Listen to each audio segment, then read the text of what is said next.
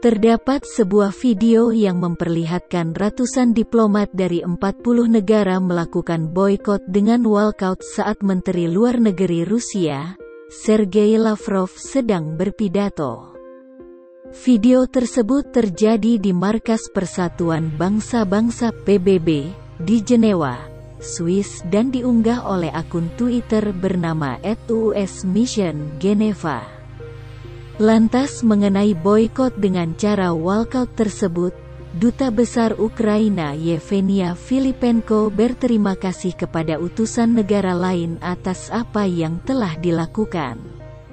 Sementara dalam pidatonya, Lavrov membenarkan negaranya untuk menyerang Ukraina dikarenakan adanya dugaan pelanggaran HAM terhadap minoritas Rusia di Ukraina. Selain itu, ia juga menuding Uni Eropa menggaungkan Rusia fobia dengan cara mengirim senjata ke Ukraina selama militer Moskow datang pada Kamis minggu lalu. Kemudian, Lavrov juga mendeskripsikan invasi Rusia ke Ukraina sebagai operasi militer khusus dan berniat untuk mengusir neo-Nazi, yang menurut pihaknya menguasai Ukraina.